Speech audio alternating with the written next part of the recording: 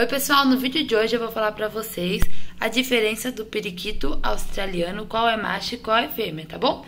Então aqui a gente tem o quito e a quita, tá?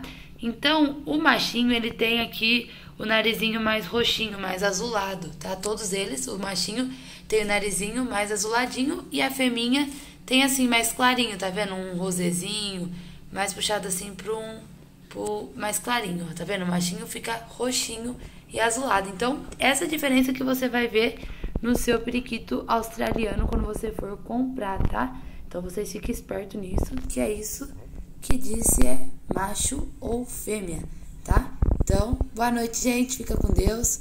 Um abraço aí do Quito e da Kita.